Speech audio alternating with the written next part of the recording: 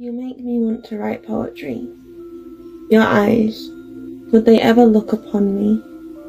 The beauty of them sits behind my lids. In a vision you called mine ancient. They've seen worlds crumble and gods rebirth. Now they see yours. Mine may be ancient, but after millennia, I wish for you to see me. Will your enchanting eyes ever see the love mine hold for thee? Alone she steps through shards of glass, crimson footprints drag her frail shell.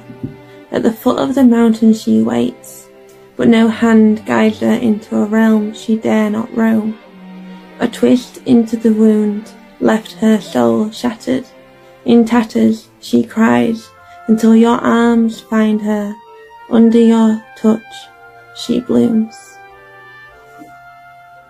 Tears over their second coffee, but the gentle rays of autumn's sun whisper, We are all connected.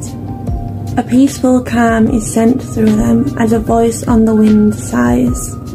You are never alone, only lonesome.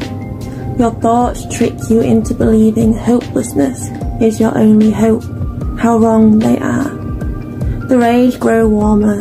As they write, their illness begins to lift. The rays say, Let us let you know you have so much more than a slight ray of hope. The Ballad of Fiera, the Eternal Symphony. There was nothing but silence so the All-Father sang.